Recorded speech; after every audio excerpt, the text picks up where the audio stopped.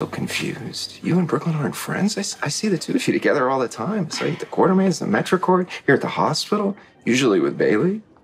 And you work together, right? Yes, we do work together at Deception, which would make us work associates.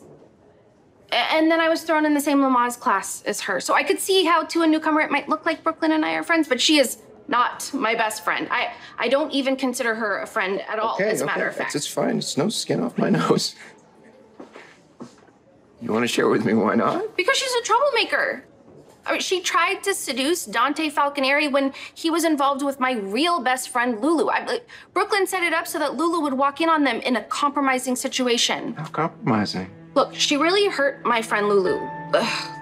You probably don't know about her. She's in a coma in a treatment facility. Oh, sorry to hear that.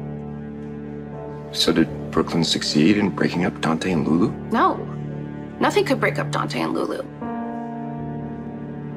Except maybe a, a bomb. It's true, when the floating rib was bombed, Dante and Lulu were broken up, but it's only because Dante left town.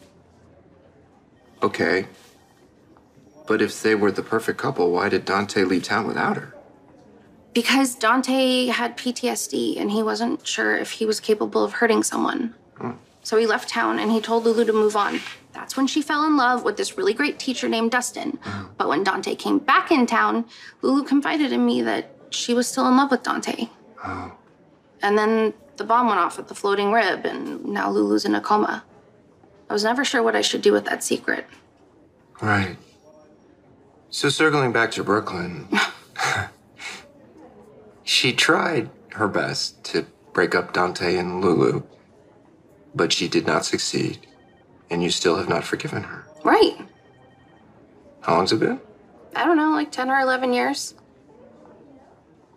Seems like an awfully long time to hold a grudge.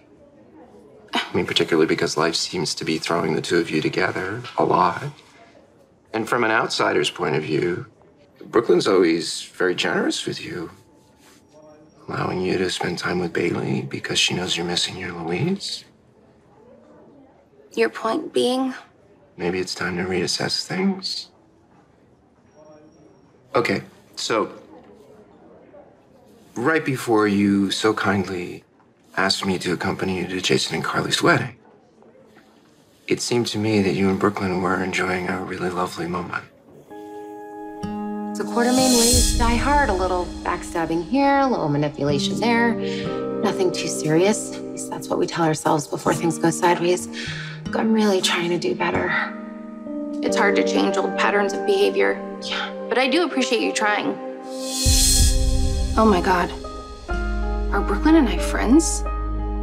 And not just casual friends, but really good friends? Have we really come that far?